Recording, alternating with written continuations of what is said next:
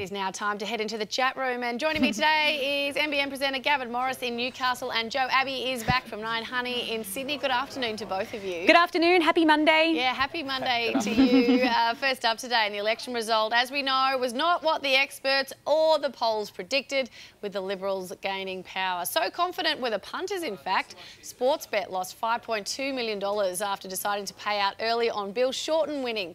Now it echoes Brexit in the UK and Trump in the US where all the polls predicted a different result. Uh, mm. Let's go first to you, Gav. Is it time we stop listening to the polls and, I don't know, maybe listen to the voters instead?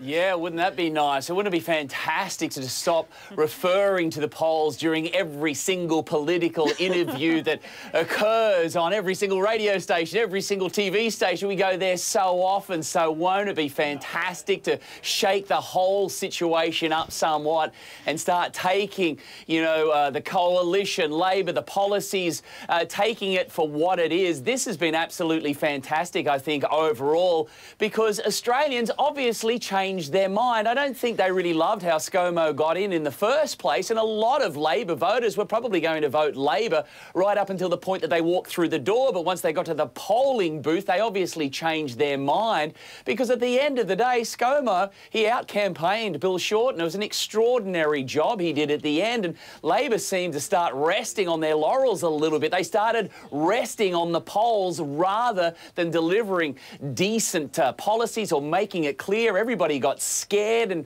I think in the end, in that last minute, everybody stuck with the devil they knew. And amazing things oh, have happened geez. in Australian politics. Well, I, I don't know about that because so many people, like millions of people, pre-voted. So that said to me, they just didn't, they didn't really care and they're just going to vote for whoever they usually voted for. I don't know, Jo. Mm. Why do you think the polls got it so wrong? Uh, i mean, it's crazy. Like all the polls got it wrong, and it just makes me sort of think that. And I don't think anybody has said this yet, but has anybody sort of thought that maybe Russia might be involved? Weren't they involved in the outcome of the US election? I mean, I know it sounds really conspiracy theory, but really, all the polls were wrong. I mean, we're looking at world events at the moment and political events, and I know that we feel in Australia that we're quite small and insignificant, but if they did it in the US, why not in Australia?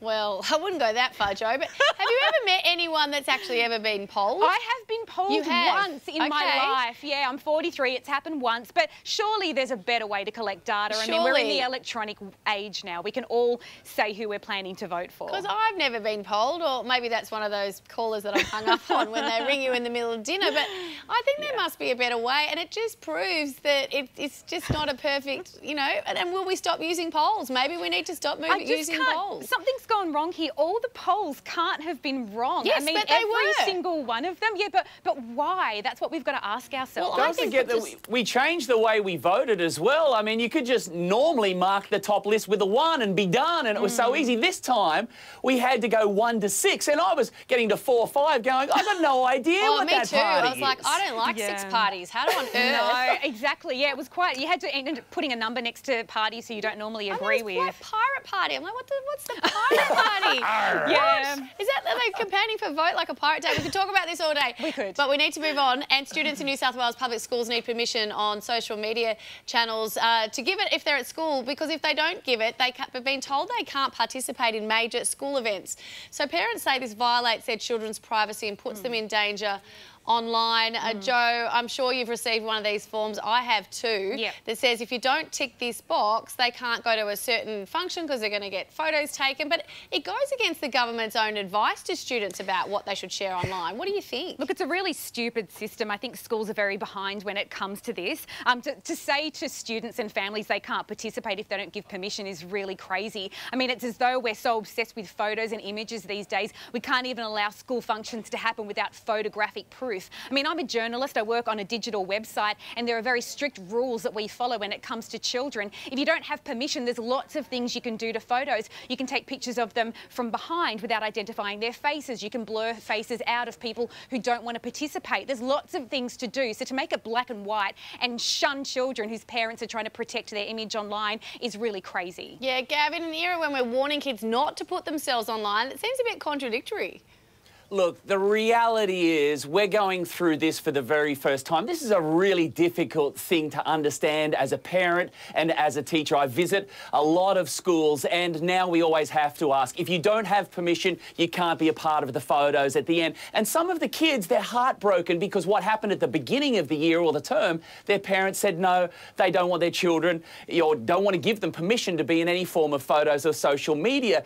But it's, it's, it's harmless and it's quite innocent. And you know, it's a very confusing time. How can you take photos at a school carnival and you're taking a photo of a race and there's seven kids there, mm. but in amongst them, there's two or three that haven't got permission? You know, it's a very confusing time. We don't know what's right or wrong yet as far as social media accessibility is, as far as releasing our images uh, of our children to them. So, you know, this is all new ground. We're going to get it wrong and we're trying to yeah. find a new way. And it's going to take some time before we well, get it right. I originally I said no to my daughter then. Mm. For that reason, mm. she was like being told to stand at the side. I just yeah, gave up and ticked the box. Right. It was too hard, right? Yeah. Researchers have found after 20 years of rapid increases in life expectancy at birth, it is now slowing and it's due to obesity.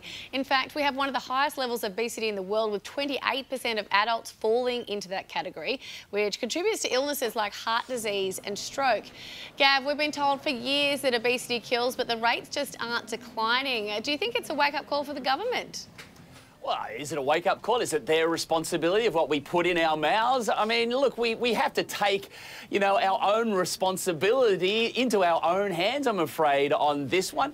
But look, you know, it doesn't get any easier the older you get. The temptations, there's plenty of them. Let's be real here. The, the reality is the most exercise that the, the majority of us do is walking to the car across uh, the driveway and then parking the car and straight to the work elevator and then it's up and then chances are at lunchtime it's someone's birthday and out comes the birthday cake. You know, hey, don't you 60, say bad things about cake.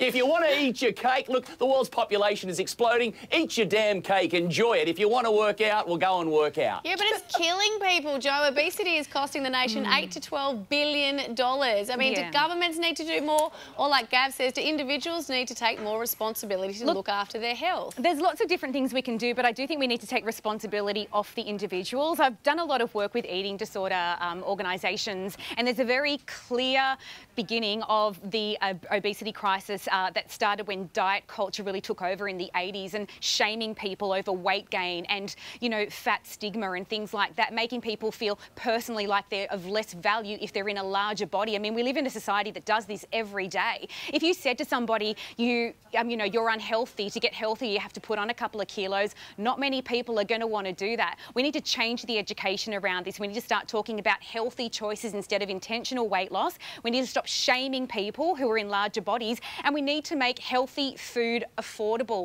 and it isn't. There are families all all across Australia on the poverty line who cannot afford fresh fruit and, fruit and veg, fresh meat, fresh seafood. They just can't afford it. This is not about the individual person being lazy or making mistakes. This is a massive issue that needs, needs a completely different approach. All right, lastly today, from today, anyone who is caught drink driving will immediately lose their licence in New South Wales. Under previous laws, people could keep their licences until they went to court.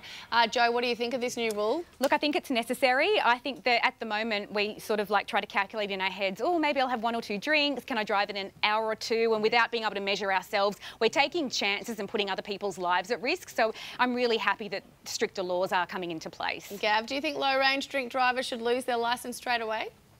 Yeah, well, it's here to stay. Nothing that we say is going to change that. And Jo is right. I think this is really going to remove, you know what, I think I'm okay mm -hmm. factor. Exactly. You know, I mean, yeah, the amount of times that, you know, I think I'm going to be right. Well, now it's going to stop that completely. If you're going to go mm. out and you're going to have a drink, you're having more than one, well, you're really going to take a big chance on your licence with a hefty fine and possibly lose it. So it might change the whole mentality of uh, the Australian driver and having one or two drinks, and now it's just exactly. one drink. Look, I've always found that if I'm going to drive, I just don't drink because yeah. I just I'm, I'm, little. I don't know how much I can drink, mm -hmm. and I was actually surprised to hear that you didn't lose your license straight away if yeah. low range drink driving. But then again, you know, people make mistakes. They have one or two. It's not a lot. Jo, you know, maybe it's a bit harsh. Well, apparently it does really affect our driving, and you don't really realise the impact it has until you are behind the wheel. So you know, um, smarter minds than ours have done the research and showed how dangerous it is, and have drawn this line in the sand. I mean, go out, enjoy yourself, but leave your car at home, leave it somewhere safe and get home by, you know, Uber, taxi, public transport. There's lots of options. Don't be lazy. we might have to start drinking that non-alcohol beer that we're oh, all so horrified nah, at. Go that far. Just have a coffee and some dessert instead. That's what I do. Gav and Abi, uh, thank you, Jo. Thank Sorry, you. Abi. Jo, Abi. Yeah. Being very formal today. Thank you so much.